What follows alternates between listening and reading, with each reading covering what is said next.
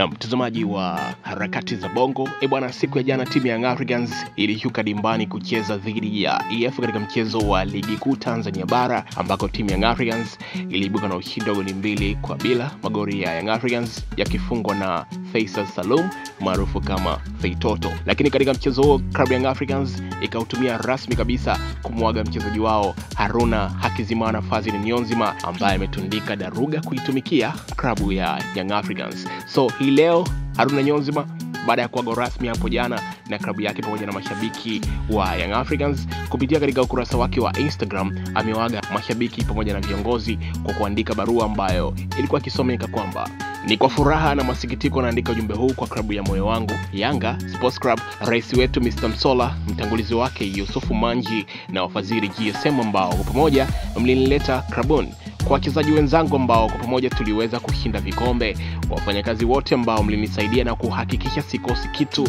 ili niweze kufanya kazi yangu vyema, na mwisho mashabiki ambao siku zote mlinifanya nijisikie wapekee na furaha kuipambania kijani na njano kila wiki. Hakika ilikuwa safari nzuri, na kwa huzuni kubwa napenda kuwaaga wananchi na watakie mafanikio katika safari yenu.